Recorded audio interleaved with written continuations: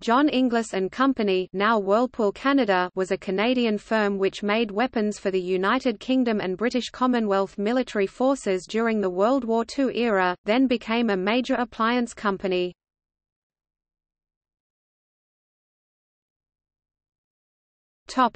History The company traces its roots to John Inglis of Dundas, Ontario. On 27 July 1859 he, Francis Evatt and Thomas Mair formed Mair, Inglis and Evatt, a machine shop in Guelph, Ontario, producing machinery for grist and flour mills. In 1864 they added a steam engine to power the machines. Some time after 1864 Daniel Hunter replaced Thomas Mair and the name of the business was changed to Inglis and Hunter. In September 1881, Inglis purchased a large triangular plot of land near downtown Toronto, west of Strachan Avenue. He moved the company there, renaming it John Inglis and Sons after five of his sons that worked in various departments. John Inglis died in 1898 and the business was taken over by one of his sons, William. In 1903, William led the company into the manufacture of marine steam engines and waterworks pumping engines, and he discontinued production of its previous milling product line. The company produced the engines for the Canada Steamship Lines Harmonic and Huronic, which served until 1950. The company reincorporated in 1913 as the John Inglis Company Limited. During World War I the company turned out thousands of shells and shell forgings, and more than 40 steam marine engines for freighters. Among products manufactured in the 1920s were boilers, grain elevating and conveying machinery, hydraulic turbines, tugs, and reciprocating and centrifugal pumps. The Great Depression seriously affected the company and led to major losses during the 1930s. When William died in 1935, the company went into receivership. A new Toronto Island ferry built by the company was named after him shortly after his death. In 1937 the company was purchased by Major J. E. Hahn of Toronto, owner of British Canadian Engineering Limited, who took on the name John Inglis and Company. In March 1938 the company won a contract with the British and Canadian governments to supply 5,000 Bren machine guns to Great Britain and 7,000 to Canada. Both countries shared the capital costs of creating a factory to produce them. Inglis started production in 1940, and the contracts were extended several times.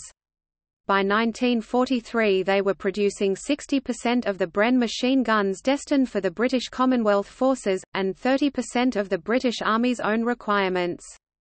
They also produced a large proportion of the Polsten 20 mm autocannon for the British Commonwealth, as well as the Browning high-power pistol for both the Commonwealth nations and other Canadian allies primarily the Nationalist Chinese Army.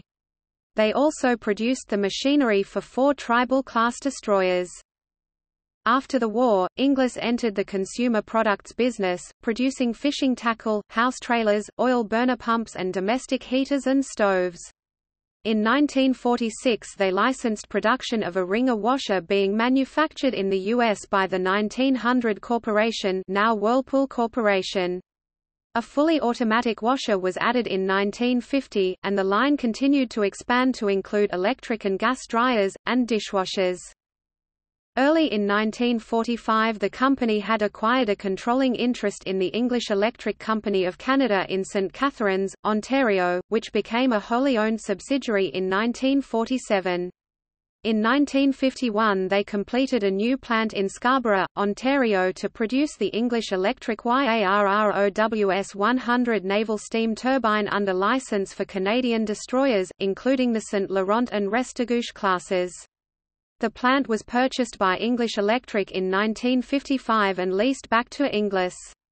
Inglis later built a new addition to house the former St. Catharines Works, which were shut down. In 1962 Inglis purchased the Scarborough plant back from the English Electric. However, three years later they sold it off to General Electric Canada, and in 1966 sold off a majority of their shares in English Electric Canada to its UK parent in order to concentrate on the consumer products field exclusively. By 1966 Inglis had become the leading producer of Canadian-built laundry machines.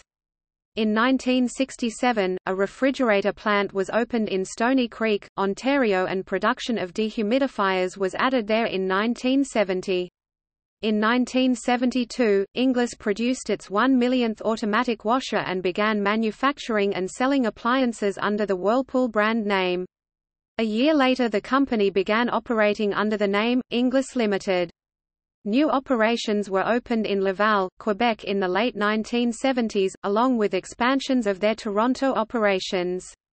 In 1982, Inglis purchased parts of Canadian Admiral Corporation, and sold some of their appliances under that name. In 1981 the company moved its head office to Mississauga, Ontario, and starting the next year the downtown Toronto operations were slowly sold off. As of 2010, the former location on Strachan Avenue, along with the nearby Massey Ferguson plants, are being redeveloped as housing and commercial space. Until July 2014, all that remained was the landmark giant blue and white Inglis billboard, installed in 1975 on a small part of one of the old buildings not demolished. It was aimed at the Gardiner Expressway and frequently flashed inspirational quotes to passing motorists.